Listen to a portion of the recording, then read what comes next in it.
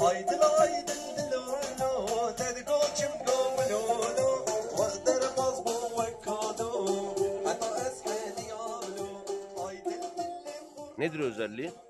Abi bu yani 33 habbe tesbih yani arkadaş hediye. Ha. Biz mecburuz abi biz çalışırız. Biz memnunuz yani biz işimizde memnunuz. Benim enerji düştü enerji. Bunlar para para aklayabiliyorsa alalım. Bu banyoda kullanılır. İstanbul'dan kaçın buraya gelin diye. Doldurmayın. Yerleşmeye gelmeyin. Ama gezmeye muhakkak gelin.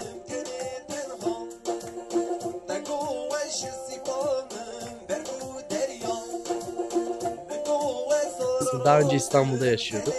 Sonra geri gördük. Bir hayat eve dönmekten ibaret.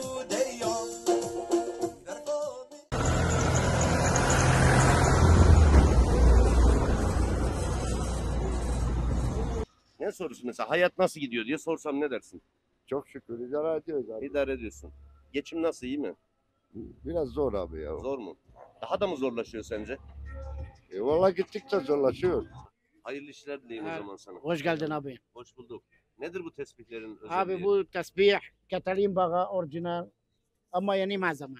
Yeni malzeme. Yeni malzeme. Nedir bunun malzemesi? Bu Katalin bağı, Katalin. Ketelin. Nedir özelliği? Abi bu yani 33 habbe tesbih yani arkadaş hediye. Nereden geldin sen? Ha, Sen nereden geldin? Nereden? ben Halep geldi. Ben Nene Türk. Nene Martin. Ben Nene Halep. Mardin. Kendin harbi. Ben Halep. Haleplisin. Peki burada kazanabiliyor musun? Yok Allah razı olsun. Ha? Yok. Kazanamıyor musun? Az mı para? La elhamdülillah. Elhamdülillah. Elhamdülillah. Çok şükür. Elhamdülillah. Elhamdülillah. E. Halep'te her şey düzelmiş. Niye geri gitmiyorsun sen? Abi ben hepsi dayı burada, ahibab burada, hepsi amca, amca oğlu burada. Ama yani savaş bitti, gitti geldi. Sıkıntı Gitti yok. geldi. Gidiyorsun geliyorsun. Halep nasıl şimdi? Güzel mi? Elhamdülillah, şükür ama biraz sıkıntı var. Orada kapalı çarşı yıkılmış ya. Ha, çok Yakınmış. güzel. Ben dükkan kabile çarşı esas. Öyle mi? Ha. Ha. Zekeriya Cami.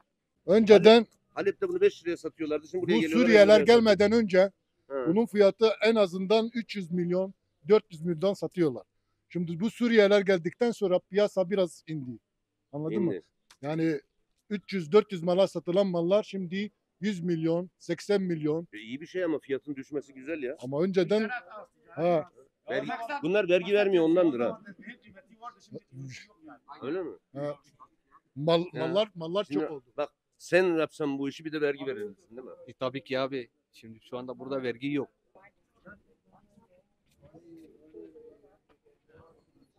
Nedir abi bunun özelliği? Bıttım yağıyla yapıyor yani yabani fıstık.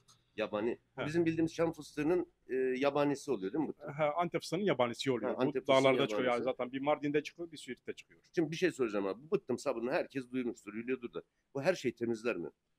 Saç dökülmeyi durduruyor. Kepek için iyidir. Kaşıntılı ciltler için iyidir. Egzama için iyidir. Her şeyi aklaştırıyor bu. Bu banyoda kullanılır. Kara parayı aklayabilir miyiz bununla? Ha? Bu bunlar cilt. Benim benim benim enerji düştü enerji. Bunlar kara para aklayabiliyorsa alalım. bu, bu banyoda kullanılır.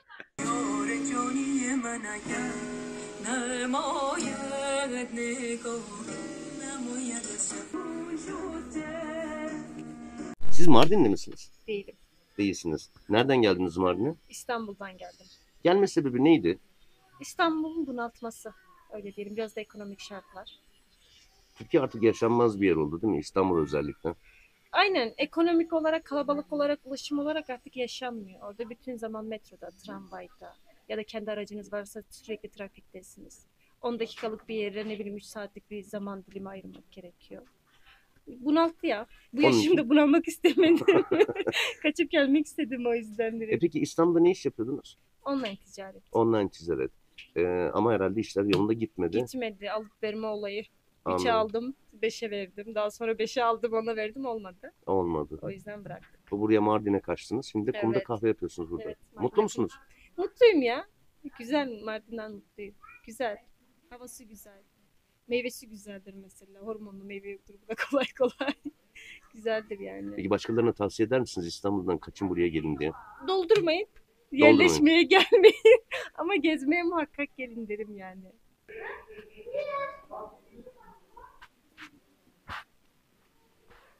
Mısın? Evet yerlisiyim Mardin. Ya ben daha önce de görmüştüm birkaç yıl öncesinde senin bu kapıdaki yazıyı ama Evet. nereden bu yazı? Yazı Seytan Kömürcü'nün Sinem şiirinden bir yazı. Ee, bizim de çok hoşumuza gittiği bir hikayeye bize de eşlik ettiği bir yazı. Ya ben Seviyorum. bunu gördükten sonra eve dönmüştüm. Biz de Ama eve bir daha, döndük. bir daha yola çıktık. Biz de eve döndük. Memlekete geri döndük. Buranın yerlisi. Daha önce İstanbul'da yaşıyorduk. Sonra geri gördük. Çünkü hayat eve dönmekten ibarettir. Peki evin burası Mardin. Memnun musun? Hayat Evet. nasıl gidiyor? Yaşantı çok güzel. Şehir çok iyi. Ee, ruh olarak da çok iyi. Manevi duygular olarak da çok iyi. Bize hitap ediyor. Tarihin içindeyiz. Ekonomi nasıl peki? Ekonomi bence kötü. Kötü mü? Baya kötü. Yani turizm olmasa burada herhalde Mardin'de daha da sıkıntılı olacak. Ya hayat. turizm olması çok bir şey değiştirmiyor. Bu yaşlarda ekonomi konuşuyorsak ya da şu an tarih değil de ekonomi konuşuyorsak sıkıntılı bir durumda. Ee, insanların alım gücü yok. Alım gücünün olmaması açıkçası üzü- üzücü yani can acı. Can acıtıyor bu durum. İnsanların bir Mar- şeyi alırken düşünmeleri kötü bir şey bence. Peki Mardin e, özelinde sormak istiyorum. Yani buradaki kentten ya da buradaki yerel yöneticilerden memnuniyet var mı? Yok ben memnun değilim. Ben genel olarak hiçbir yöneticiden memnun değilim ama buranın yöneticisinden de memnun değilim. Çünkü bu şehrin e, daha iyi şeylere ihtiyacı var. Daha iyi bir hizmete ve daha iyi e, tarihi gösterebilecek etkinliklere ihtiyacı var. Çünkü burası tarihin yapısı ve tarih ne kadar gözüküyor belli değil yani. Peki bir şey soracağım. E, 31 Mart'ta seçimler olacak. Sen oyunu duygusal mı vereceksin mantıklı mı? Ben oyumu her zaman mantıklı verdim. Ee, burada büyüyüp yetişmem buranın e, var olan oy kitlesine bağlı bir şey değil. Ben burada burada büyüdüm diye ya da burada şey oldum diye benim e, siyasi bir kimliğim yok. Benim siyasi kimliğimin oluşması bilgimdir, e, okuduklarımdır, öğrendiklerimdir. E, duygusal olarak hiçbir zaman hareket etmedim.